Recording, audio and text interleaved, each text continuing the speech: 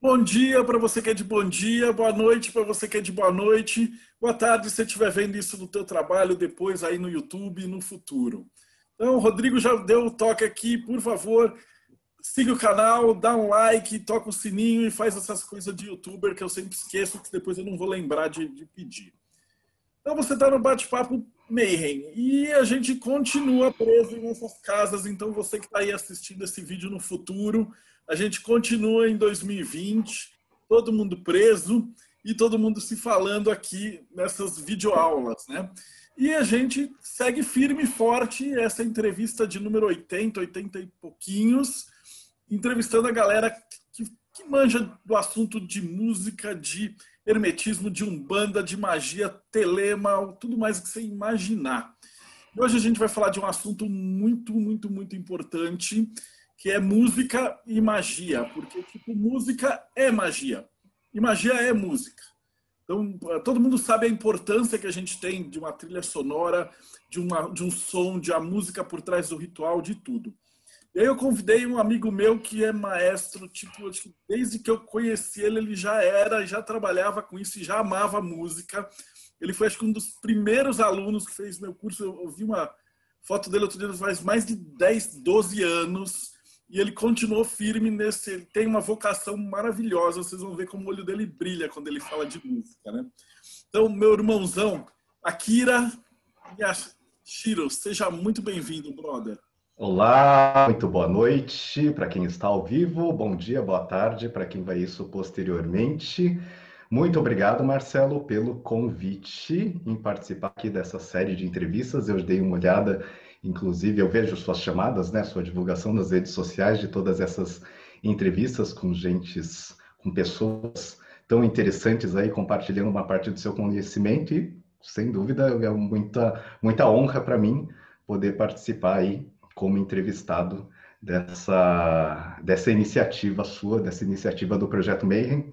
Também fui atrás da, de algum histórico da nossa relação, e achei lá e-mail, na verdade, de 2011. Então não, não fez 10 anos ainda, está quase fazendo 10 anos, mas lá em 2011 que, que a gente fez, participei aí dos, dos seus primeiros cursos. Não sei, eu espero que eles continuem, logicamente não agora, né, em função da pandemia, mas espero que eles continuem aí tendo bastante êxito, assim como participei lá em 2011. Bom, e a primeira pergunta, antes de você começar a fazer uma apresentação e tal, é para você falar um pouquinho mais da tua vida para o pessoal, porque como a gente trabalha muito com verdadeira vontade, fica falando para o pessoal assim, poxa, vocês têm que seguir o que vocês amam e tal. Então, minha primeira pergunta para todos os convidados é o que é que te levou para a música? Como é que foi a tua jornada até você chegar a ser maestro? Com certeza, vamos lá. Eu comecei a estudar música com sete ou oito anos de idade, comecei com, com flauta doce, iniciação musical dentro de, de uma escola. Minha irmã começou a estudar piano, e aí eu, irmão mais novo, fiquei lá meio tentado, meio, meio invejando lá a, a, as aulas da minha irmã, resolvi entrar no piano também, isso lá com oito anos de idade. Estudei aí durante os quatro ou cinco anos, na pré-adolescência, lá pelos 11, 12, encheu o saco, porque pré-adolescente quer fazer outras coisas, né? Quer, enfim, se aventurar por outras coisas. E, queira ou não, estudo de instrumento é uma coisa exigente. Né? Uma, além de ser uma habilidade intelectual, é necessário uma habilidade física. E para toda habilidade física é necessário repetição, é necessário consciência corporal, é necessário repetição, enfim, para a gente conseguir coordenar o movimento em relação ao instrumento enfim, parei de estudar piano por volta dos 12 anos, voltei com o violino aos 14 e depois com o violino participando de orquestra surgiu essa vontade de não só tocar o instrumento, mas entender o todo, né? entender a orquestra. E aí a posição do maestro, a posição do regente é aquela função musical que efetivamente dá conta de ter o conhecimento de tudo que está acontecendo musicalmente falando dentro de uma orquestra, dentro de um coro, dentro de um grupo como um todo. Então, depois eu, eu fiz vestibular e daí fiz a minha graduação na Universidade Estadual de Campinas em música, fiz as habilitações tanto de regência quanto de violino, então eu combinei as duas as duas experiências, as duas modalidades e a partir disso seguir a vida profissional. Uh, minha intenção primeira era ser um regente, estudar fora e assim por diante, mas a vida acabou levando outros lugares, em especial para sala de aula.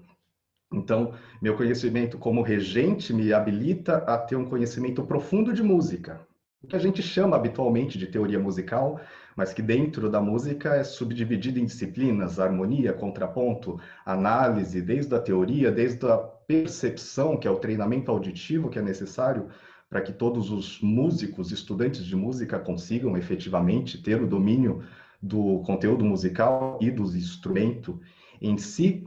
Então, já acredito aí, pelo menos uns 10 anos, eu trabalho mais em sala de aula, ensinando música e conduzindo grupos de estudantes, preparando esses alunos, esses estudantes, para efetivamente participarem de orquestras mais robustas, para orquestras semiprofissionais e profissionais, que ainda são poucas no Brasil, mas existem e, é, e muitas vezes né, é, o, é, o, é a aspiração de muitos estudantes de música nesse sentido. Tem um outro público que são uh, músicos que tocam em igreja, que músicos que tocam em casamento e tudo mais, mas sem dúvida o conhecimento musical mais profundo os habilita ter um domínio do instrumento, ter um domínio daquela música que eles utilizam nos seus ritos religiosos, enfim, de uma maneira um pouco mais intensa. Então, hoje eu sou professor de música, de disciplinas teóricas, de disciplinas práticas, de orquestra, de coro, no polo do Conservatório de Tatuí, em São José do Rio Pardo. É, única, é uma única extensão do Conservatório de Tatuí, que naturalmente fica em Tatuí, interior de São Paulo. É considerado uma das grandes escolas de música da América Latina, já formou uma série de grandes músicos que, que estão atuando aí atualmente. E eu estou em São José do Rio Pardo, no norte do estado, mas bem pertinho da divisa com, com Minas Gerais, perto de, Gua, perto de Guaxupé e Poços de Caldas. E, enfim, ensinando música aqui para a galera. E, além disso, tenho os meus canais aí nas redes sociais, onde eu ofereço as minhas aulas online e agora na pandemia ainda mais, né? Que tem, tem vários alunos aí descobrindo essa possibilidade de estudar música de maneira remota. Maravilhoso. Então, Vamos lá, agora está liberado aí, o canal é teu, pode falar. Vamos lá, pessoal. Muito obrigado pela atenção. Estou compartilhando aqui minha tela e a intenção aqui é eu falar um pouco da orquestra, sua evolução e o papel do, do maestro nesse sentido. Como Marcelo Deodébio já comentou, música é magia, magia é música, e é nas nossas conversas eu acredito que ele tenha razão nesse sentido. Né? O maestro, como eu disse, por ter o conhecimento do todo, por ter o domínio de todo esse texto musical e coordenar a orquestra, coordenar e uma série de instrumentistas, também de cabeças pensantes para coordená-los numa mesma direção, acaba justamente atuando como um mago nesse, nesse sentido. Acredito que seja bem acertada a comparação. Antes de falar de orquestra, eu gosto muito de pensar na origem dessas palavras. Então, origem etimológica, como curiosidade aqui, vem do grego orquestra, que significa lugar de dança. Então, a orquestra, antes de significar um conjunto de instrumentos que fazem música, que tocam conjuntamente, coordenadamente, na verdade era um espaço, é um espaço semicircular do teatro grego situado em frente ao palco onde o coro cantava e dançava. E aqui em seguida eu tenho duas imagens só para registrar esse local. A gente tem aqui um esquema de um teatro grego com as suas bancadas em declive, todo mundo olhando para baixo e para o centro do espaço. Ah, mas aqui ao fundo a gente tem. Opa, aqui, isso aí, passou? Do grego orquestra. E aqui o nosso, o nosso espaço, onde a gente tem a cena, o proscênio, alguns termos, inclusive, ainda usados na, na, no teatro hoje em dia, e esse espaço semicircular aqui no centro, que é justamente a tal da orquestra, onde ficavam os, os cantores, onde uma parte da atuação acontecia. Aqui um outro esquema aqui do teatro grego com as pessoas incluídas, só para a gente ter uma noção melhor de como a coisa acontecia. Então esse espaço aqui é o espaço chamado orquestra que hoje em dia posteriormente a gente entende como o conjunto musical propriamente dito.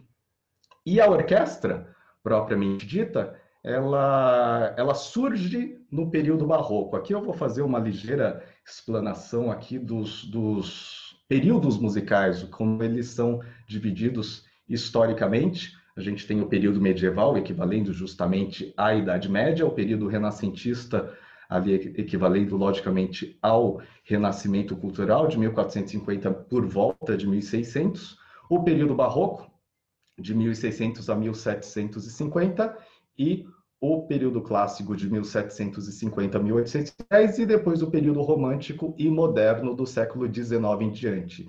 Eu estou sendo reducionista aqui, juntando romântico e moderno, porque o meu ponto de vista aqui é justamente a questão da formação orquestral. A mesma orquestra que foi utilizada no período romântico, que foi elaborada e organizada no período romântico, é a mesma orquestra que foi utilizada no período moderno. A gente não tem tanta diferença aí entre esses dois períodos, na organização orquestral desses dois períodos, por isso eu os incluí dentro do mesmo, do mesmo pacote.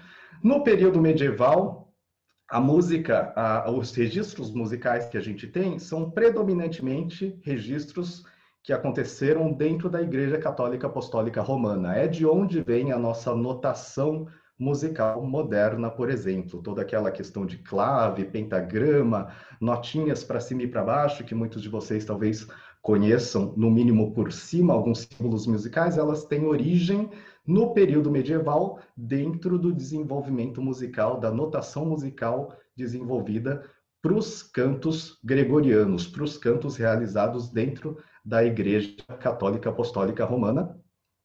E a música instrumental acontecia fora da igreja. Então existia uma determinação muito clara de que a voz humana era única, era o único instrumento hábil o suficiente para ser executado dentro de um ambiente religioso. Todos os instrumentos eram tidos como profanos, então eles eram executados fora da igreja, muito associado a cantos e danças. E daí, dentro desse período, a gente tem lá os trovadores, com, com várias imagens, inclusive, com suas violinhas e cantando os feitos de heróis, cantando o amor, cantando uma série de temas nesse sentido. No período renascentista, a gente ainda também não tem orquestra.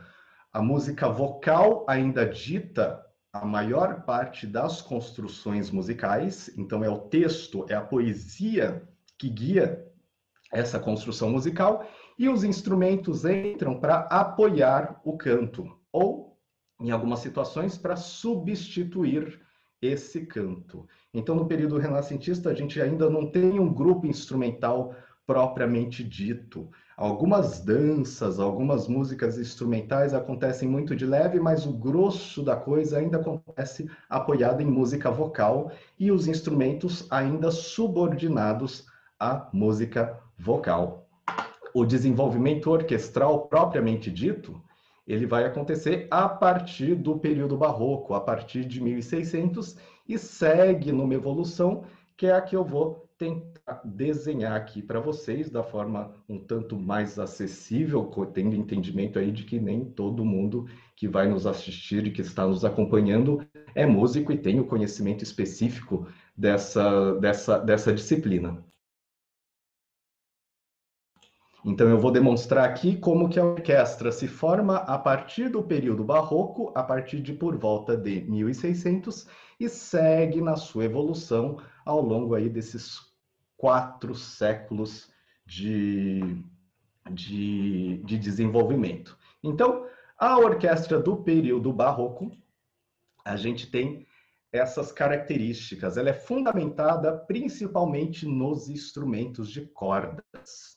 Primeiro na família das violas, em seguida na família dos violinos. Família dos violinos é a que perdura até hoje. Então, todo mundo deve conhecer o violino, a viola, o violoncelo, o contrabaixo, instrumentos de cordas, uh, com seu desenho da caixa harmônica bem característico, no caso do violino, apoiado nos ombros, no caso dos violoncelos, apoiado nas pernas e assim por diante. Mas antes disso, antes dos violinos tomarem esse espaço, inclusive nessa época, um pouco antes disso, o violino era considerado um instrumento menor porque antes disso, a, o instrumento, a família de instrumentos que realmente uh, fazia parte da orquestra, era considerado instrumentos nobres, são a família das violas. E aqui a gente entende por viola da gamba. Gamba, em italiano, significa perna, então são violas que eram apoiadas, tocadas apoiando-se nas pernas do instrumentista. Daqui a pouco eu vou ter duas imagens para diferenciar essas duas famílias, mas só para a gente saber, a família das violas, elas são apoiadas nas pernas, então tinha desde a viola soprano, menorzinha, executando sons mais agudos, até a viola da gamba baixo, que era logicamente maior, soltando notas mais graves, todas elas apoiadas nas pernas e tendo as suas cordas acionadas por um arco. Esse arco, que também da mesma maneira funciona na família dos violinos, é sempre feito de crina de cavalo. Isso modernamente ainda é feito de crina de cavalo. São as cerdas dessa crina que fazem com que as cordas do instrumento entrem em vibração e essa vibração é amplificada pela caixa harmônica do instrumento. Então, ela é fundamentada nos instrumentos de cordas e os instrumentos de sopro e de percussão são ocasionais. Então, dependendo da demanda ou dependendo da necessidade, o compositor coloca, complementa essa, esse conjunto de instrumentos de cordas com algum instrumento de sopro ou algum instrumento de percussão, e aí tem uma relação de alguns instrumentos que são mais comuns de aparecer nessa época. Flautas, desde a flauta doce até a flauta transversal, oboés, fagotes, trompetes, tímpanos, que são instrumentos de percussão, e a condução desse grupo é feita a partir do cravo. Cravo é um instrumento de teclado da época, um antecessor do piano, como a gente entende hoje em dia. Tem aí algumas diferenças técnicas sutis de um piano para um cravo, mas era um instrumento de teclado na época e a condução, ou seja, a regência desse grupo era feita a partir desse, desse, desse instrumento. Então, não existia ainda a figura do maestro propriamente dito. Então, era um, dos, um músico, em geral, o próprio compositor, que, a partir desse instrumento chamado cravo, conduzia o conjunto.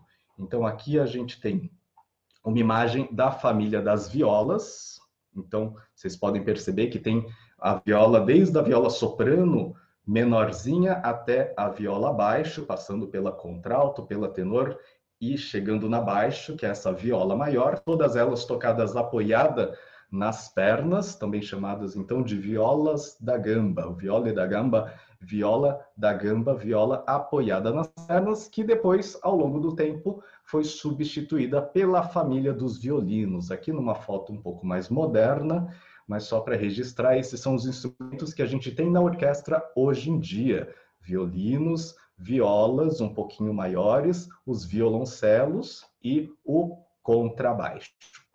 Aqui. Os violinos, as violas, os violoncelos e o contrabaixo. Essa é a família dos violinos que perdura na orquestra, é a base da formação orquestral até os dias de hoje. Nessa próxima imagem, a gente tem um esquema de como essa orquestra barroca funciona.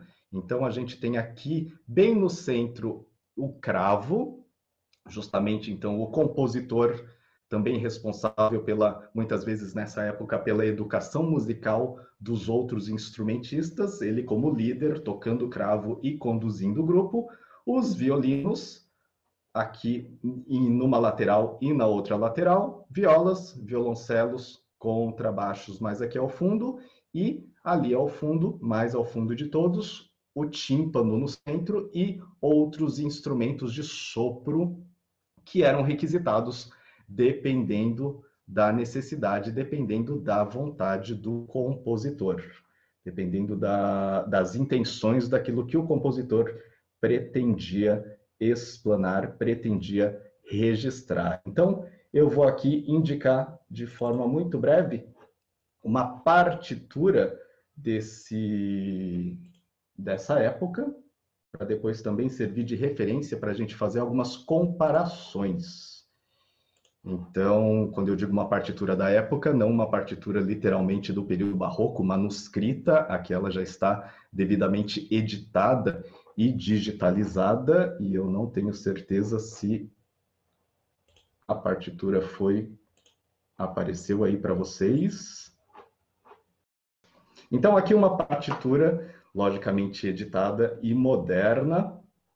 Ah, para quem não está acostumado, essa é uma partitura de regente, onde cada uma dessas linhas cada um desses pentagramas, aqui um pentagrama num conjunto de cinco linhas paralelas, tá bom, pessoal? Não o pentagrama como a gente está acostumado em outros contextos. Aqui, cada um desses pentagramas é um instrumento musical, e só como registro, aqui, três trompetes, o tímpano, que, que é o instrumento de percussão, dois oboés e o conjunto de cordas. Primeiro violino, segundo violino, viola e o contínuo, que são as cordas graves, e o tal do cravo, que também vai ser utilizado para o acompanhamento dessa desse conjunto. Então, vocês podem imaginar que é uma orquestra bastante pequena, novamente, reforçando a fundamentação dos instrumentos de corda que estão aqui embaixo da partitura e alguns instrumentos de sopro aqui no topo da partitura. A gente vai ver aqui para ilustrar isso melhor. A gente vai assistir aqui a um pequeno trecho dessa dessa dessa obra, né, uma suíte de bar é uma orquestra barroca, orquestra barroca de Amsterdã, condução de um grande maestro estudioso de música antiga chamado Tom Koopman.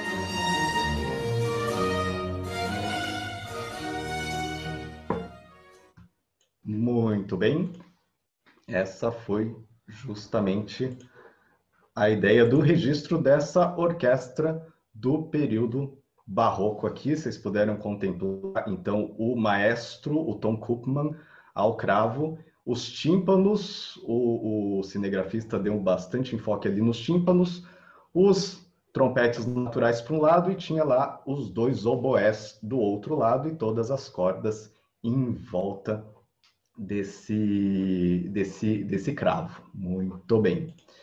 A gente caminha alguns anos aqui. Em 1750, a gente considera essa data de 1750 como fim do período fim do período barroco, início do período clássico, porque tem um compositor muito importante que é justamente um compositor muito importante que é justamente o Johann Sebastian Bach, que morre em 1750. Então, até 1750, digamos que o Bach é o, é o último exemplar de compositor de músico que ainda escreve dentro de uma estética de período barroco. Os próprios filhos do Bach, antes de 1750, já estavam desenvolvendo outro tipo de música, mas com a morte de Bach, efetivamente, toda a estética do período barroco, musicalmente falando, ele se encerra.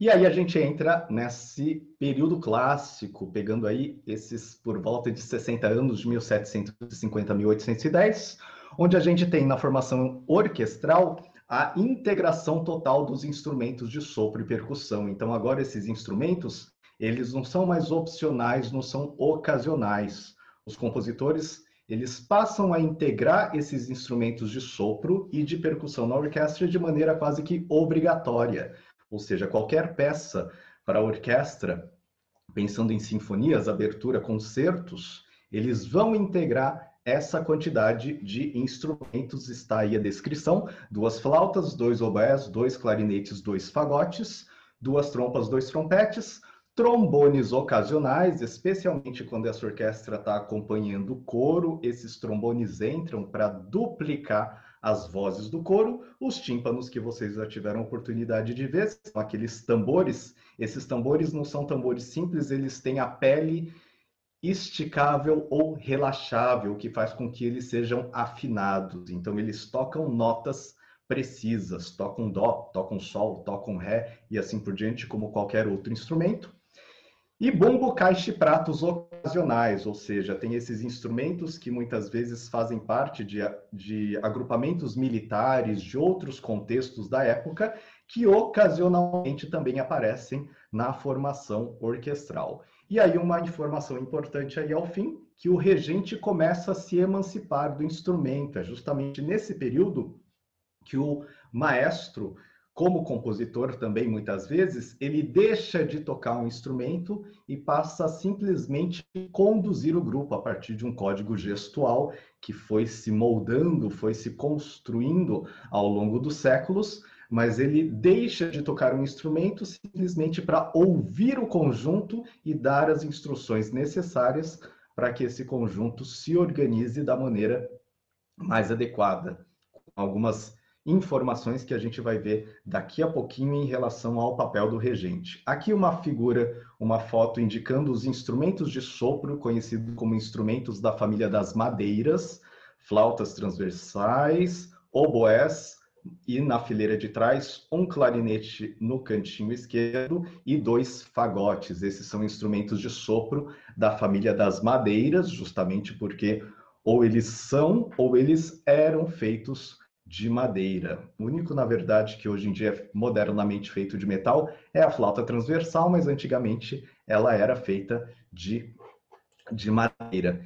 E aqui em seguida, uma imagem, também um esqueminha de como essa orquestra clássica funciona, ela agora um pouco maior, com os primeiros e segundos violinos, as violas, os violoncelos e os contrabaixos, todos aqui formando um arco mais à frente do conjunto, os instrumentos da família das madeiras mais ali centralizadas ao fundo, as flautas, os oboés, os clarinetes e os fagotes, trompetes e trompas de um lado e do outro e os tímpanos a mais ao fundo.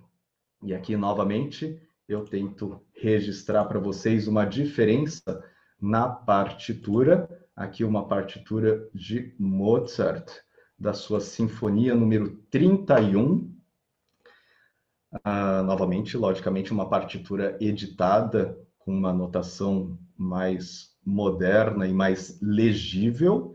E aqui, dando um zoom, a descrição dos instrumentos. As duas flautas, os dois oboés, os dois clarinetes, os dois fagotes, duas trompas, dois trompetes, tímpanos e o conjunto de cordas, violinos, violas, violoncelos e contrabaixos, ou seja, pela própria notação, pela descrição que o compositor coloca aqui ao lado, a gente consegue perceber que existem muito mais instrumentos sendo requisitados para executar uma música desse tipo. E a gente vai agora ouvir um pequeno trecho, uma pequena introdução justamente dessa sinfonia.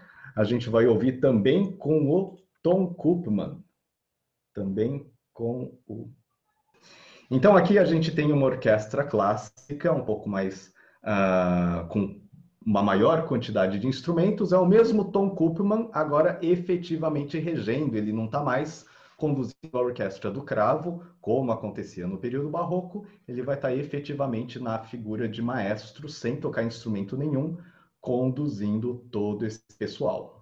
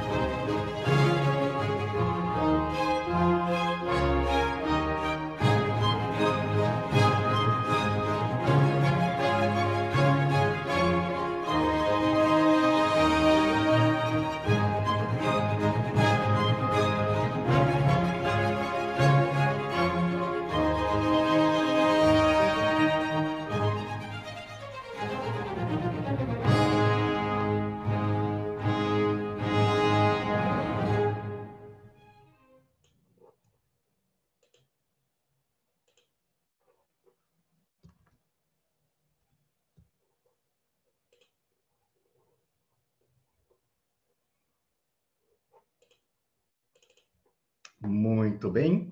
Essa foi a orquestra do período clássico e a gente caminha mais alguns anos, 1810 em diante, com a orquestra que vai crescer em tamanho durante o período romântico e vai permanecer dessa maneira agora no período moderno, ao longo do século XX, logicamente agora no século XXI. Basicamente, a gente tem uma maior quantidade de instrumentos de sopro. Então, agora temos duas flautas, mais um flautim, que também é conhecido como piccolo, uma flauta em tamanho menor, ou mais flautas, dependendo da vontade do compositor. Da mesma forma, dois oboés mais um corno inglês, dois clarinetes mais um clarinete baixo, dois fagotes mais um contrafagote, ou mais instrumentos, dependendo da vontade do compositor. Quatro a oito trompas, três trompetes, três trombones, uma tuba, ou seja, uma quantidade de instrumentos de sopro muito maior do que no período anterior. E isso diz respeito justamente a toda a expressividade que o período romântico sugere os compositores vão sempre procurar meios cada vez mais elaborados para transmitir toda a emoção, todo a, a, a, o sentimento, todas as intenções que eles querem como compositores, e necessariamente, dentro da estética da época, eles vão fazer isso a partir de uma maior quantidade de instrumentos, de um grupo orquestral cada vez maior. A percussão ela é integrada com uma grande variedade de instrumentos e uma coisa que, que aí a gente tem que calcular é instrumentos de sopro eles têm uma potência sonora maior do que instrumentos de corda. Ou seja, uma flauta ou um trompete eles têm necessariamente uma potência sonora maior do que um violino, do que um violoncelo. Então, à medida que os instrumentos de sopro crescem em tamanho, à medida que a percussão é efetivamente integrada também com uma variedade enorme de instrumentos, os instrumentos de corda, eles têm que aumentar em tamanho da mesma maneira para que o equilíbrio sonoro se mantenha. Porque não adianta nada eu ter uma enorme quantidade de instrumentos sopro e se eu tiver uma quantidade reduzida de instrumentos de corda, não faz sentido, porque a gente mal ouviria esses instrumentos de corda. Então é importante a gente notar que à medida que os instrumentos de sopro aumentam em tamanho, os instrumentos de corda também têm que aumentar em quantidade para fazer com que essa compensação sonar aconteça, para que o equilíbrio entre todos esses conjuntos, entre todos esses instrumentos aconteça.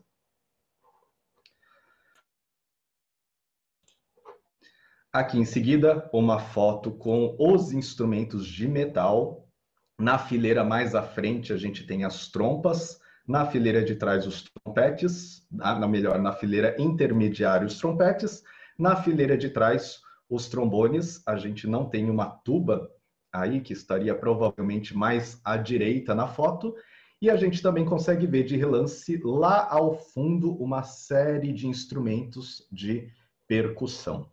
E aqui em seguida, o esquema de uma orquestra moderna, de uma orquestra sinfônica moderna, que foi concebida aí ao longo do século XIX. Então, vocês podem perceber como ela cresceu muito mais em tamanho em relação aos, aos esquemas anteriores, requer muito mais instrumentos de cordas, como eu disse anteriormente, para compensar a sonoridade dessa enorme quantidade de instrumentos de sopro e de percussão que foi agregada na orquestra ao longo do século XIX, tudo em função dessa necessidade dos compositores de ter um conjunto cada vez maior para expressar suas ideias musicais. Então a gente continua tendo as flautas, os oboés, os clarinetes, os fagotes, trompas, trompetes, trombone, tuba e percussão variada, além de harpa e piano ocasionalmente da mesma maneira. A gente vai aqui então, em seguida,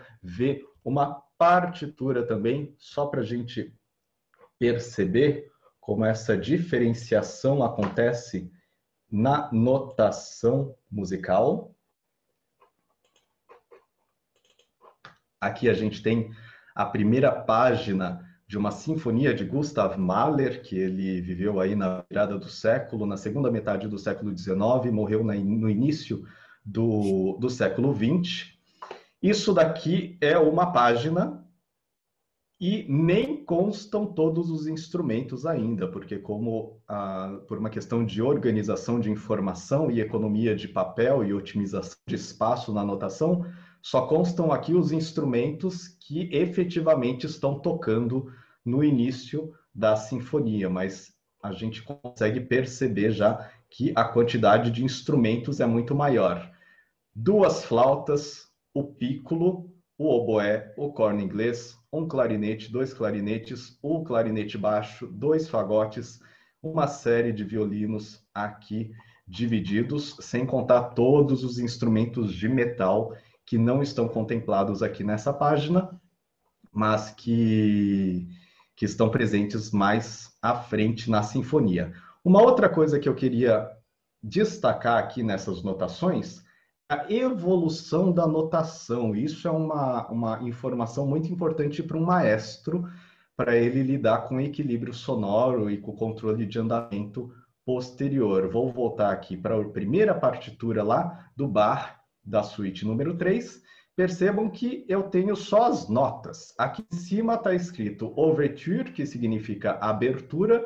Eu não tenho uma indicação de andamento clara, ou seja, eu não sei ao certo qual é o andamento que isso deve ter. Isso, lógico, é resgatado a partir de uma série de estudos que foram feitos, uma série de tratados musicais que, que os musicólogos pesquisaram e chegaram naquele andamento, naquela velocidade que muito possivelmente o Bach imprimia nessa música. Mas aqui, além dessa indicação de abertura, eu tenho somente as notas. Eu não tenho nenhuma pista de como a, o equilíbrio sonoro deve ser realizado dentro desse contexto, em especial por quê? Porque o Bach, como compositor, ele era o responsável pela execução dessa música. Então, não existia uma preocupação nessa época, uma preocupação do próprio Bach, de ser tão preciso e tão específico, porque afinal ele mesmo era encarregado de executar essa música.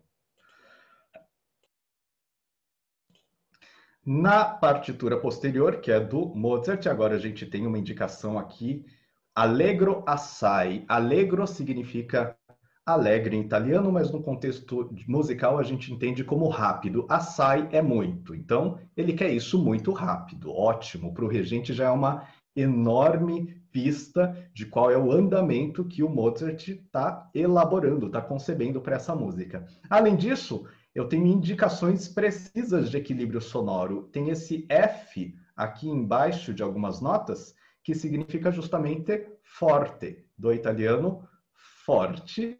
E aqui tem um P do italiano piano, que significa suave, significa fraco. Então, opa, aqui a gente tem pistas um pouco mais claras de qual de quais são os equilíbrios e os contrastes de volume sonoro que o Mozart está querendo. Em seguida, uma partitura bem mais recente, e o mais recente aqui a gente está falando de mais de 100 anos de idade, mas a gente tem aqui uma informação muito clara, langsam, schleppend, wie ein Naturlaut.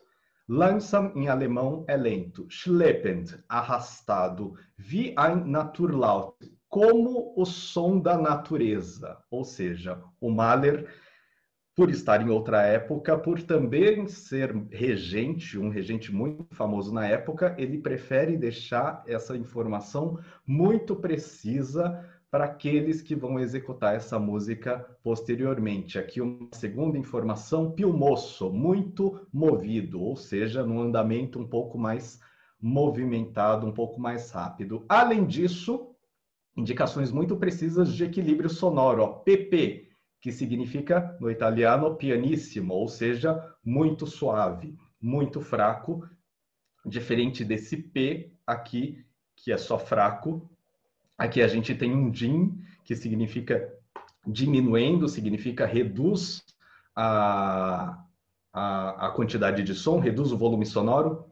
Nos instrumentos de corda aqui embaixo, a gente tem sempre PPP, o PPP é pianicíssimo, ou seja, ele está pedindo um som muito, muito, muito, muito fraco, tá bom? Então, essas são diferenças de notação que o maestro vai ter que lidar na hora de reinterpretar, de traduzir e reinterpretar essa partitura com um grupo moderno, né, numa, numa situação de concerto atual. E aí a gente vai ouvir um trecho dessa sinfonia. Eu não vou colocar o começo da sinfonia propriamente dita, vou colocar a quarta parte dessa, dessa sinfonia, justamente porque o meu desejo aqui é mostrar toda a potência sonora que uma orquestra moderna é capaz de ter em função de toda essa evolução de expressão que os compositores foram desenvolvendo ao longo desses três séculos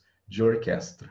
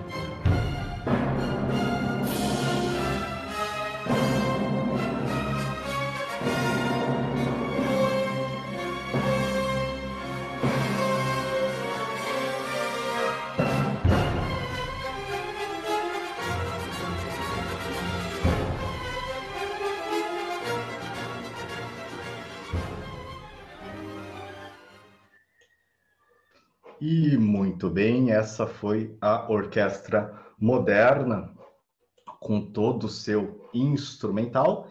E a partir de agora eu falo um pouco do maestro, de como o maestro age à frente de todo esse conjunto. E aqui algumas definições que a função do maestro, do regente, é justamente juntar essas três entidades, o compositor, os músicos e o público. O compositor é aquela pessoa que vai escrever a música, vai conceber a música ah, na sua mente, com toda a sua inspiração e todo o seu conhecimento musical, e vai codificá-la numa partitura. Isso, lógico, tanto modernamente falando, quanto as partituras que vêm aí de dois, três, quatro séculos atrás. Então, a função do maestro é justamente garantir que a partitura seja devidamente executada. Ou seja, garante que todas aquelas informações, todas aquelas instruções, todas aquelas nuances sejam devidamente executadas. Por quê? Isso vai mudar em função da quantidade de instrumentos, isso pode mudar em função do espaço onde essa música está sendo executada, se é numa sala de concerto XYZ, se é num ambiente aberto, se é dentro de uma igreja, isso tudo pode influenciar no resultado sonoro que não necessariamente foi previsto pelo compositor. Então, o maestro tem essa função de garantir que essa partitura seja devidamente executada. Os músicos garantir a unidade e a integridade do grupo, ou seja, garantir que a velocidade ou andamento ou tempo de todos os músicos esteja coordenado e o equilíbrio sonoro da mesma maneira. Eu vou comentar um pouco mais a respeito disso em seguida, mas só para concluir, a terceira entidade é o público, garantir que toda essa mensagem chegue ao público de maneira adequada para que a música seja efetivamente compreendida, para que a música efetivamente emocione, choque, um, seja aprendida de forma profunda e intensa pelas pessoas, independente se essas pessoas têm conhecimento musical formal ou não.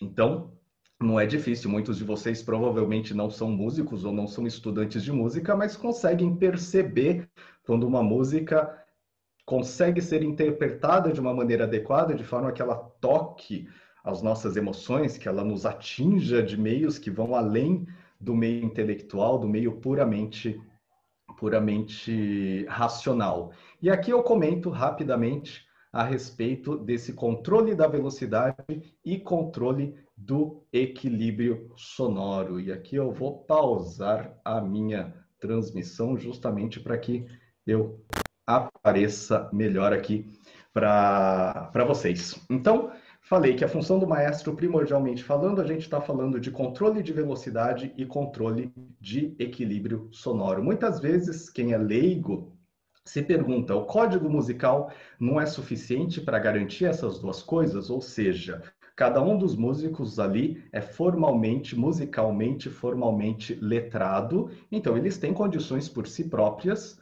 de decifrar, de decodificar aquele símbolo e tocar em conjunto, não tem? Tem.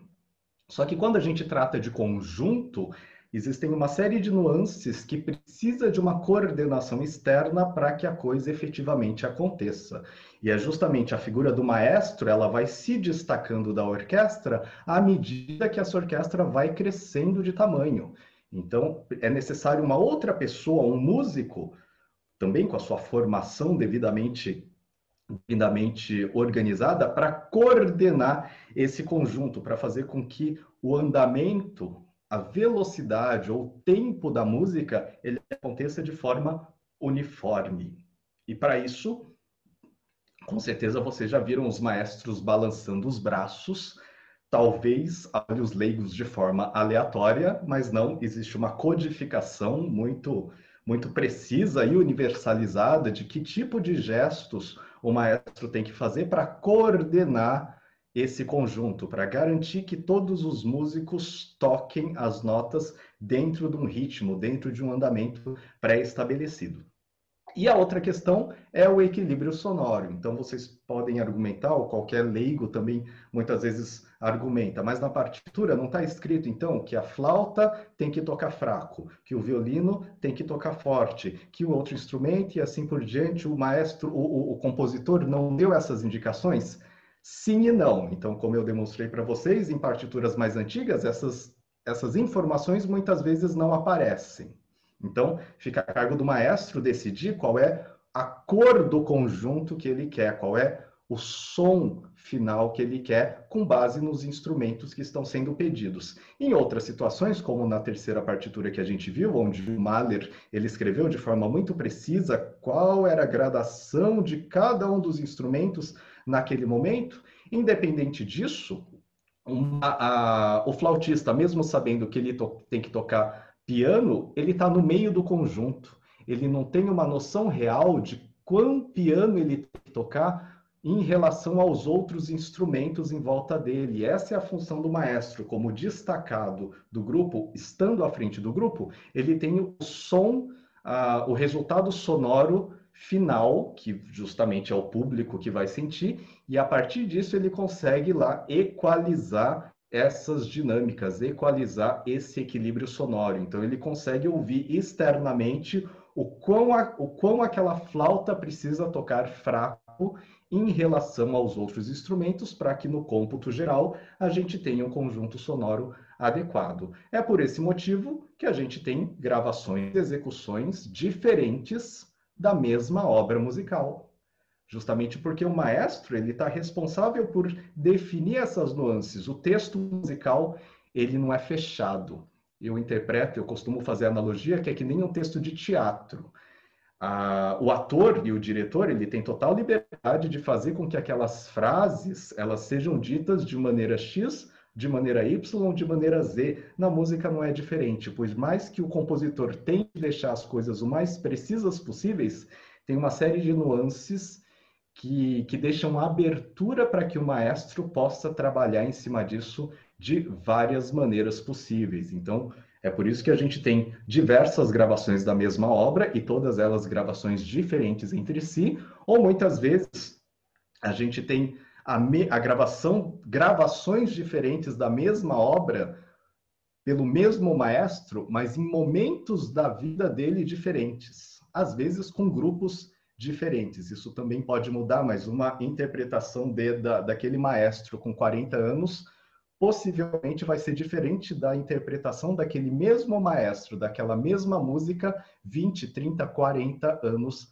depois. Então, existem aí os aficionados em música clássica que colecionam, inclusive, essas diversas interpretações e brigam entre si para dizer qual é a interpretação mais adequada, mais enfim, mais emocionante, etc e tal. Eu, particularmente, mesmo sendo músico, mesmo sendo maestro, não, não, não entro nesse tipo de discussão, porque efetivamente é, é, cada, cada, cada maestro vai interpretar esse texto de uma maneira ligeiramente diferente, todas as interpretações são válidas em alguma medida, e é uma questão de gosto se fulano agrada mais ou se cicrano agrada, agrada mais na interpretação daquela mesma música.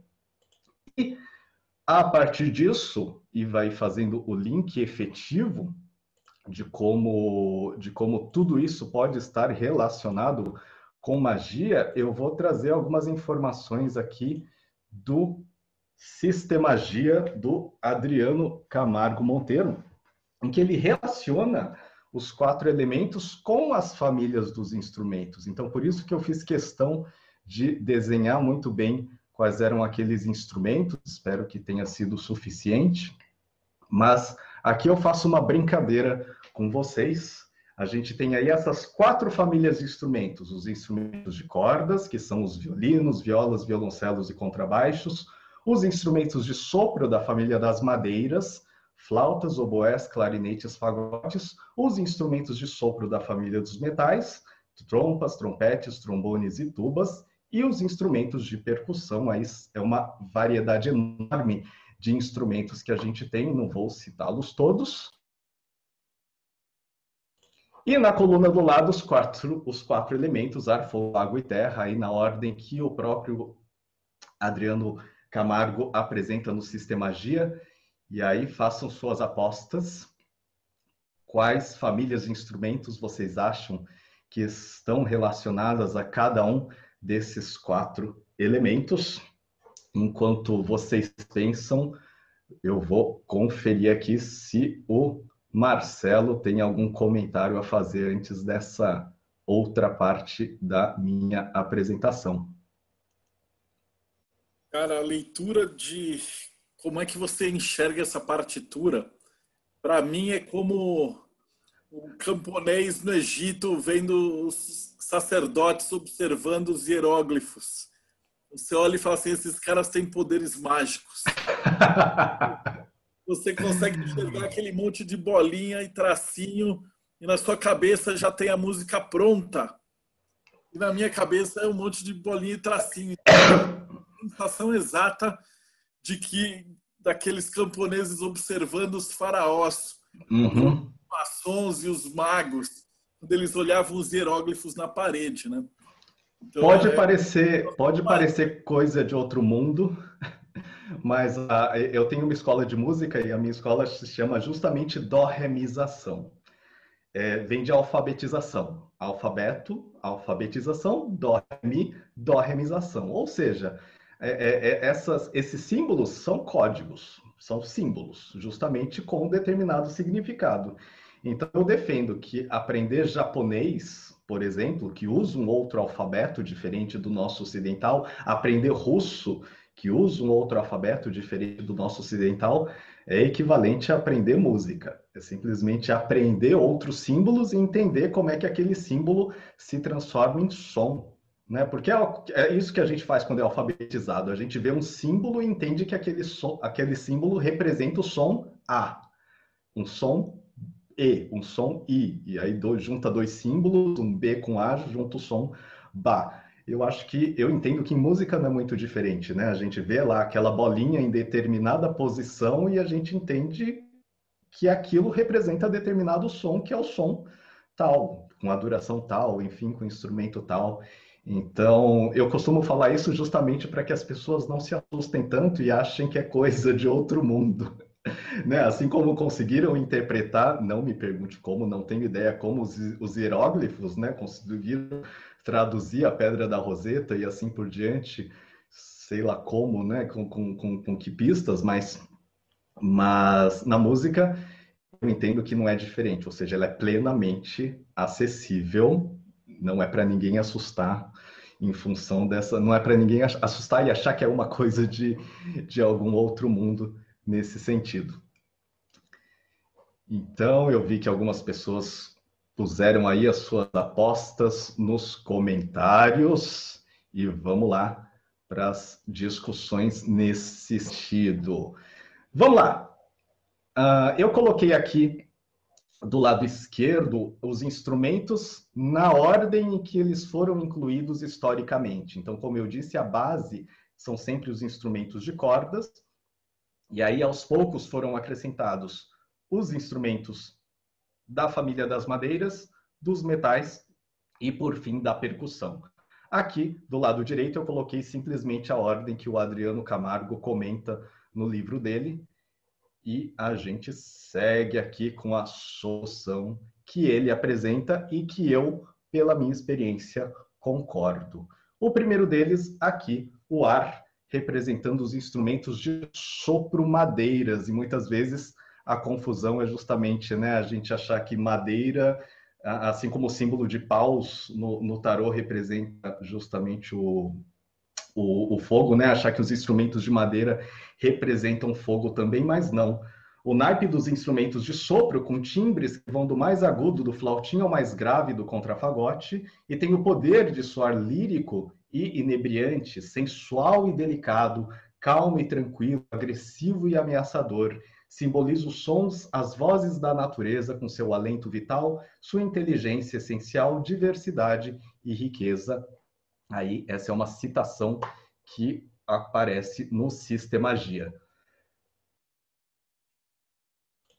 E tentando encontrar alguma justificativa um pouco mais plausível para essa relação, eu tento procurar alguma coisa do nosso cotidiano ou da nossa vivência. Todo mundo já deve ter ouvido falar de uma lenda de uma história dos contos de fadas chamado Flautista de Hamelin, em que o flautista é contratado para tirar os ratos da, da cidade, ele lá com o poder, seu poder em função da flauta, que é um instrumento da família das madeiras, tem esse poder de, de, de iludir, né, de encantar esses ratos e levá-los para fora da cidade, aí tem aquela reviravolta de que daí a cidade livre dos ratos resolve não dar os devidos créditos e, e, e pagamentos para esse flautista e num segundo momento ele toca uma outra música, faz com que todas as crianças sejam encantadas e tiram essas crianças, rouba essas crianças da cidade, essa é a vingança do tal do flautista. Eu acho que isso é um exemplo de como esses instrumentos de madeira, eles atuam de maneira, digamos, mais racional. Eles atuam nesse campo do ar, que é justamente o que o Adriano coloca. E eu vou um pouco mais além aqui, é por minha conta essa relação, essa subdivisão. Então a gente sabe que, que é tudo organizado em fractal, então a gente pode, dentro desses instrumentos de madeira, de repente supor, elaborar, e aqui é uma proposta minha, de como cada um desses instrumentos estaria relacionado aos outros elementos. Então, a grosso modo, a gente tem os instrumentos organizados aí do mais agudo para o mais grave, flauta, oboé, clarinete, fagote. Flauta eu associo com fogo. Flauta é o instrumento mais agudo e geralmente, pela minha experiência, flautistas eles têm esse ímpeto, eles têm aí essa essa coisa de sol, essa coisa meio leonina, essa coisa meio de exibicionismo. Isso é natural dos flautistas ou pelo menos da maioria deles. No caso dos oboístas, eu estou aí associando ao ar, porque oboístas são um pouco mais meticulosos.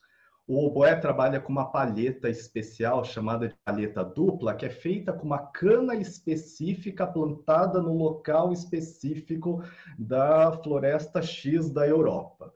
Então eles encomendam essa cana, essa cana já vem tratada e eles ficam lá, dobram a cana e secam a cana e raspam a cana e faz a sua palheta e testa a sua palheta, enfim, é todo um trabalho mais elaborado nesse sentido, além dos oboístas serem, em geral, um pouco mais intimistas, um pouco mais na deles, né? um pouco mais uh, introvertidos nesse sentido. Eu coloco ou água, porque o oboé, sonoramente falando, ele é muito expressivo. Então, em diversas situações musicais, quando o compositor precisa de um solo expressivo, um solo emotivo, ele também usa o oboé. Em seguida, eu coloco o clarinete como água e também como ar, aí, em função dessa dicotomia do oboé. O clarinete é o último instrumento de madeira que entra na orquestra por questões acústicas, por questão, questões de construção, mas eu acredito que o clarinete tem aí essa, esse, essa, essa, esse som inerentemente um pouco mais divertido, menos racional, então um pouco mais água, uma opinião minha, e o fagote, por ser um instrumento maior, fagote ah, vem de fagoto, que é o mesmo radical de fascio, que inclusive vai dar o, o, o termo fascismo, fascismo, né, que é aquele conceito de feixe. Então, o fagote ele vem dessa ideia que, na verdade, é um grande cano dobrado, é um grande tubo sonoro dobrado como um feixe. Por isso que ele vai ter uh, um som mais grave, por isso que, por, por conta desse cano mais extenso, que é dobrado, que eu acabo associando ao elemento terra. Então, ou seja, dentro dos próprios elementos de, do ar, desses, melhor, dentro desses próprios instrumentos de sopro da família das madeiras, que são associados ao elemento ar, eu acredito que a gente possa fazer ainda essa subdivisão interna dentro desses instrumentos em função das características de som e das características dos instrumentistas que eventualmente toquem esses instrumentos. Logicamente, eu não estou falando de maneira geral, estou falando de, de, de situações que eu já vivenciei, de temperamentos de instrumentistas que eu já pude conferir, a gente pode meio que estabelecer um padrão do, da, da, dos comportamentos desses instrumentistas. Em seguida, a gente tem os metais como representantes do instrumento, do elemento, como representantes do elemento fogo. Naipe de sopro, em geral de sonoridade brilhante, fulgurante, muitas vezes impetuoso e impactante. Vai dos timbres mais estridentes e agressivos aos toques graves de tensão e alerta e aos avassaladores sons de uma verdadeira destruição violenta. Simboliza a vivacidade, o excitamento e a agressividade da natureza. E aqui, como, como, como argumento para que essa associação seja feita, a gente tem os instrumentos de metal, geralmente na cor dourada, geralmente associada a, a ouro, geralmente associada a Sol, então toda uma questão de elemento fogo associado, e numa situação cotidiana, logicamente não nos dias de hoje, mas em tempos passados, eram os trompetes ou as cornetas, que são instrumentos de metal, dessa família de metal, que eram utilizados para toque de guerra. As cornetas são instrumentos militares, os trompetes, modernamente falando, eles têm origem nessas cornetas que são instrumentos militares, inicialmente feitos de chifre de animal, posteriormente feitos de liga metálica, e, e na época todos os comandos militares eram dados por meio de toques de trompete associados com outro instrumento que eu já vou comentar. Então, dependendo do toque do, da, da, dessa corneta, do toque dessa, desse instrumento de metal, todas as pessoas já ficavam em alerta, já ficavam preparados para a briga. Imagina isso, aquelas, aqueles enormes batalhões organizados em campo aberto, pronto para atacar o inimigo e sendo controlados por um trompete, ou seja, o trompete sendo aí responsável pelas alterações de formação e pelo start, pelo, pelo, pelo, pela comunicação efetiva de que a coisa era para começar.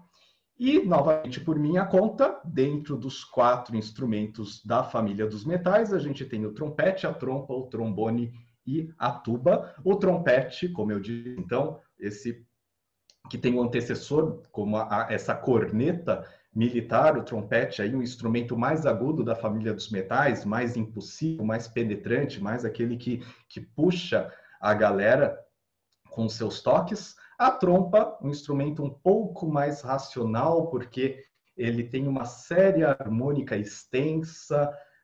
Trompa desses quatro instrumentos de metal da família dos metais é o mais complexo de se tocar, é o mais elaborado em alguns sentidos, por isso eu associo ele com ar. Trombone é aquele mais malemolente. O trombone é o instrumento mais versátil dessa família, que pode estar tanto na na música clássica, na música erudita, quanto na música popular. Então, ele tem uma série de efeitos que traz toda uma sensualidade, uma permissividade que outros instrumentos de metal não têm. E a tuba, por ser um instrumento mais grave, associa ao elemento terra, justamente porque ele dá a base para esse conjunto, ele dá a sustentação para esse para esse conjunto, como curiosidade também, a tuba, por ser um instrumento grande, na maioria das vezes o tubista também tem que ser uma pessoa relativamente grande. Isso é natural que aconteça, acaba é, é comum essa essa associação, o que daí eu trago como mais uma característica também um pouco mais prática de que essa tuba possa representar também o elemento terra dentro dessa família de instrumentos que está associado ao elemento fogo. Em seguida, a gente tem as cordas, representando o elemento água. E o Monteiro nos diz: o naipe mais extenso da orquestra, a base e a sustentação orquestral para todos os outros instrumentos e vozes solistas. Pode exprimir suavidade e delicadeza, fluidez, bem como austeridade e agressividade Simboliza o poder de expansão que flui e envolve todos os seres imersos em suas ondas e profundezas cheias de vida e emoção. Então, as cordas são a base da orquestra, como já foi falado, e toda essa emotividade, todos os crescendos, nuances de dinâmica, versatilidade, é muito característico dos é muito característico desses instrumentos de, de corda. Eu acredito que a própria corda vibrante tenha muita relação com a água vibrante, né? com aquelas ondas que se formam na superfície da água. Eu acredito que tem essa relação muito, muito forte com a própria corda que vibra para produzir o som. E dentro dos instrumentos de corda, também faço essa associação, trazendo os, os instrumentos desde o mais agudo até o mais grave. O violino como instrumento do elemento fogo. Justamente o violino é o instrumento mais agudo, ele chama mais atenção naturalmente. Todas as histórias passionais é, envolvendo algum instrumento de corda geralmente tem um violino ou um violinista envolvido, e eu estou falando desde compositores como Paganini, que dizem a lenda cantava e levava as moças à lou as loucu a, a levava as moças à loucura quando tocava seu violino, até filmes como O Violino Vermelho, não sei se alguém já teve a oportunidade de assistir esse filme, é um filme todo passional que relata as histórias envolvendo esse tal de violino vermelho. Além disso, os violinistas assim como os trompetistas, assim como os flautistas, eles têm tendências de, de querer holofote, de querer, de serem um pouco mais exibidos nesse sentido. Então, eles estão sempre exibindo os repertórios, trechos de concertos, excertos difíceis, e assim por diante, é uma característica muito de violinistas e do instrumento violino. Viola, por sua vez, é um instrumento novamente um pouco mais intimista, um pouco mais reservado, um pouco mais racional. O violoncelo, ele é considerado um instrumento de corda que mais se aproxima, por exemplo, da voz humana, pela sua expressividade, pelas suas nuances muito emotivas que podem que, que, que, esse instrumento pode oferecer, e o contrabaixo, novamente, por ser um instrumento mais grave, é aquele que vai dar a sustentação para essa família de instrumentos. Então, novamente, por minha conta, faço essa associação, essa subclassificação dos instrumentos de cordas dentro dessa grande classificação dos instrumentos de, de elemento água. E, por fim, o instrumento, os instrumentos de percussão que está associado, que estão associados ao elemento terra. Naipe essencialmente rítmico e de efeitos sonoros, de impacto sólido e violento, na maioria das vezes, vai do agudo estridente agressivo ao grave mais pesado e denso. Simboliza a matéria a terra e o impacto físico, bem como a expansão do som primordial e primitivo da criação material. E aqui eu trago dois, dois exemplos práticos. Um deles é justamente a situação de guerra. Um outro instrumento que também controlava as tropas, controlava os batalhões junto com o trompete, junto com a corneta, é justamente um instrumento de percussão chamado caixa, também conhecido como caixa clara ou caixa militar.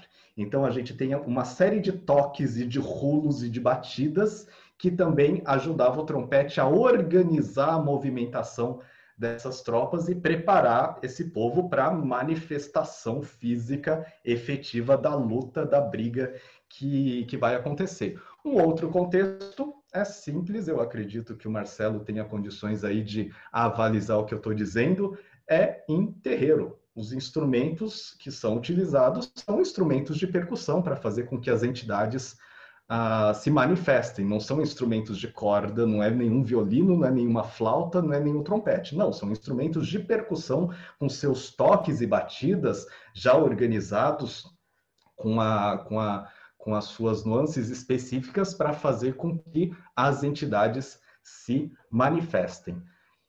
Nos instrumentos de percussão, eles são muito variados, é difícil classificá-los do mais grave para o mais agudo, como acontece com outros instrumentos. Então, aqui é um grande chute.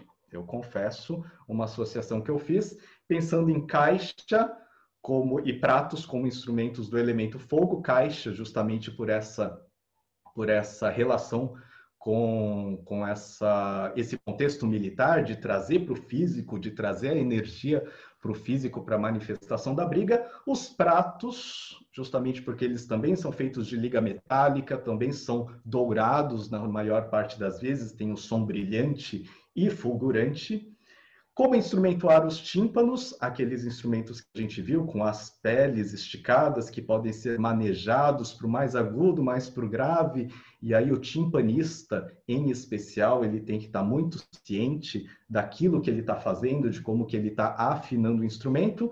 Coloquei o triângulo aqui, pensando justamente em como esse som é sutil e penetrante, e pode ser o menor triângulo e pode ser a maior orquestra tocando junto com esse triângulo, a gente ainda consegue ouvir esse triângulo com esse som agudo e penetrante no meio de toda a textura orquestral.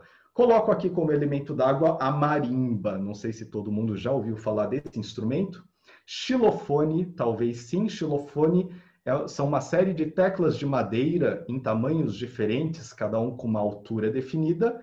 E a marimba é a extensão desse instrumento. Também são teclas de madeira, mas numa extensão muito maior, com som macio, aveludado, muito próximo da, desse movimento da água. Muitas vezes em peças que queira, se queira registrar movimento de água, muitas vezes se usa esse instrumento e representando terra o bumbo, que é um grande tambor. Em italiano chamado de gran cassa, ou grande caixa, é justamente o instrumento mais grave, digamos, que a gente tem dentro da, da orquestra.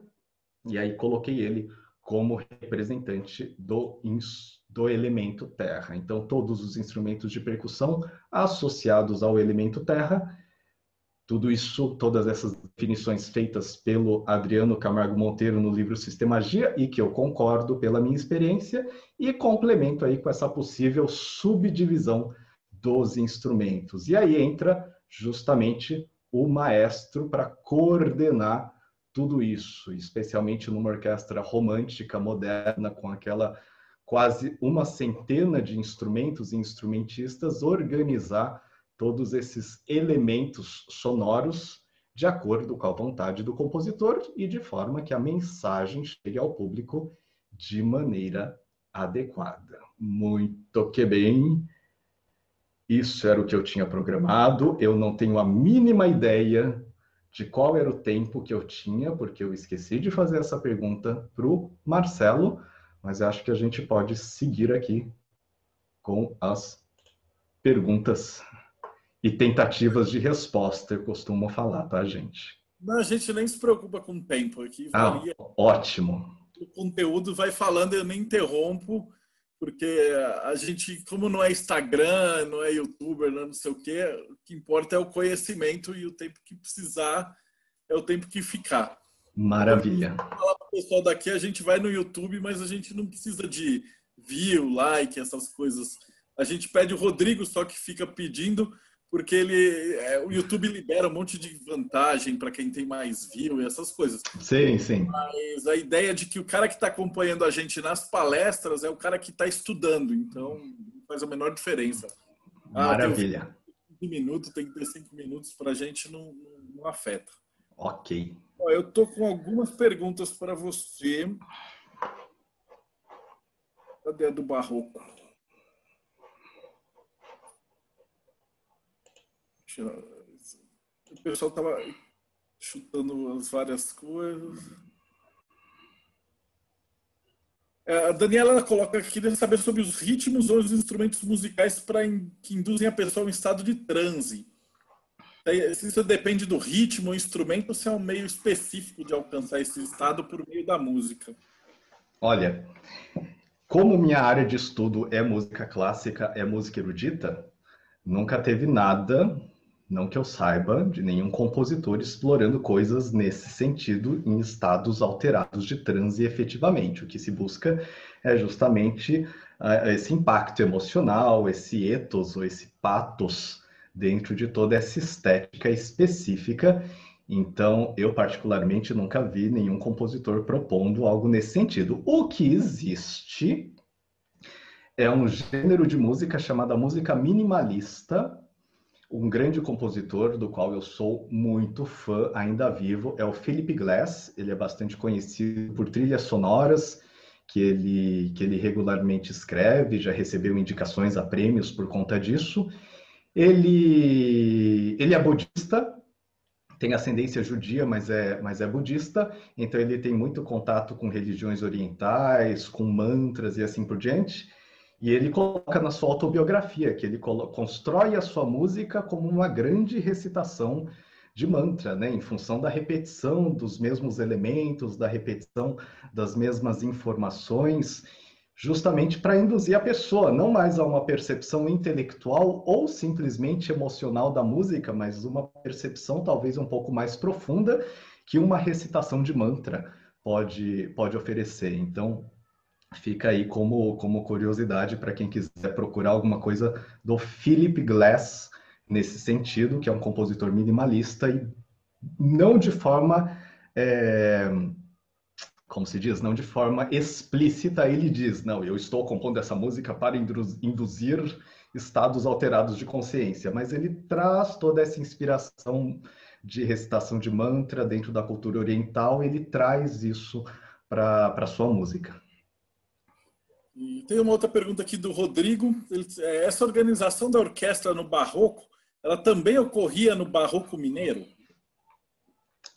Aí a gente tem uma questão de, de, de terminologia, porque o Barroco Mineiro, na verdade, não é tão barroco, ele é pré-clássico. Então, tem, tem, tem uma questão de terminologia aí. Então, a orquestra do Barroco Mineiro não é tão barroco, ele já tem algumas características pré-clássicas, então eu diria que ele está no meio termo entre a orquestra do período barroco e a orquestra do período clássico que eu defini aqui na, na apresentação. E sempre considerando também, desculpa só complementando, sempre considerando que estando no Brasil nesse período, os compositores estão trabalhando com aquilo que está disponível. Né? Então é diferente da Europa, em que as coisas estavam efetivamente um pouco mais organizadas nesse sentido. Aqui no Brasil, nesse período, as músicas estão sendo elaboradas dentro de um contexto religioso, é música especificamente, na maioria das vezes, dedicada para os ritos católicos e sendo organizados com os instrumentos que existem. Eu tenho uma, uma pergunta. Antes de liberar o pessoal que quer falar com você, mas para despedir do pessoal que está assistindo aqui no YouTube, duas perguntas para finalizar. Então, a primeira é: que dica que você daria para alguém que está começando na música, na magia? Está. Vamos lá. Para quem está começando, tem interesse em começar, é justamente escolher um instrumento adequado e aí não existe regra. Esse instrumento ele diz respeito a, a, a, características pessoais, a experiências anteriores, marcas kármicas, enfim, o que for mais evidente nesse sentido. E, e ouvir, ouvir. Então, muitas vezes, quem estuda música, muitas vezes deixa de ouvir porque passa só a praticar e o ouvir é parte integrante né, desse, desse, desse processo. Então, para quem está começando, é escolha um instrumento, procure um professor adequado. Hoje em dia tem aplicativo, tem cursos gravados, é, eles ajudam até determinado ponto. O mais indicado é ter um professor específico para dar orientações específicas e ouvir muita música. E a mais importante de todas, que é o cara que já acompanhou você até aqui, como é que a gente te acha? Vamos lá. Então, muito bem, quem quiser me acompanhar, o meu nome aqui nas redes sociais é Akira Professor. No YouTube, canal do Akira Professor. No Facebook, Akira Professor. No Instagram, Akira Professor. Meu site, akiraprofessor.com. Então vocês podem me acompanhar nessas redes. A minha base é o YouTube, onde eu tenho vídeos a respeito de música e, em especial, um programa de apreciação musical que é o Em Forma de Pera, Descomplicando a Música Clássica, que vai ao ar toda quarta-feira às 20 horas. Então, ou eu sempre comento de algum repertório, falando de instrumento, falando de compositor, falando da, época em específico, falando de características da música que permitam uma, uma interpretação ou uma, uma decodificação, uma apreensão dessa música um pouco mais profunda e também faço algumas entrevistas, geralmente uma vez por mês. Eu convido algum músico para falar de algum tipo de pesquisa, algum tipo de obra e, lógico, para a gente ouvir muita música sendo executada. E aí, como todo bom professor, eu deixo uma tarefa para todos que é ou escutar, que é procurar ou ouvir esta peça aqui de um compositor inglês chamado Benjamin Britten, que se chama Guia da Orquestra para a Juventude. Tem essa referência aqui no YouTube, mas vocês podem procurar por essa peça também no campo de busca. E, esse, e, essa peça, esse compositor é muito didático, justamente porque a intenção dele é mostrar cada um dos instrumentos da orquestra. Então, ele pega uma melodia de um compositor também inglês do período barroco chamado Henry Purcell, pega essa melodia, toma essa melodia emprestada e faz uma série de variações mostrando o uso de cada um dos instrumentos da orquestra. Então é uma grande aula para quem não conhece os instrumentos, para quem não está familiarizado com esses diferentes instrumentos, o Benjamin Britten oferece nesse guia da orquestra para a juventude um beabá de como cada um desses instrumentos se comporta dentro da orquestra. E é isso aí. Então, Akira, muito, muito agradecido. A gente ainda vai bater mais um papo rapidão, mas é só vou me despedir da galera do YouTube. Então, Se você que acompanhou a gente, não esquece de dar o like, apertar os botões, seguir o canal para mais. E aproveitando, pega as dicas que a Akira colocou, que estão aqui na, na descrição do vídeo, e a gente se vê no próximo Bate-Papo Mayhem.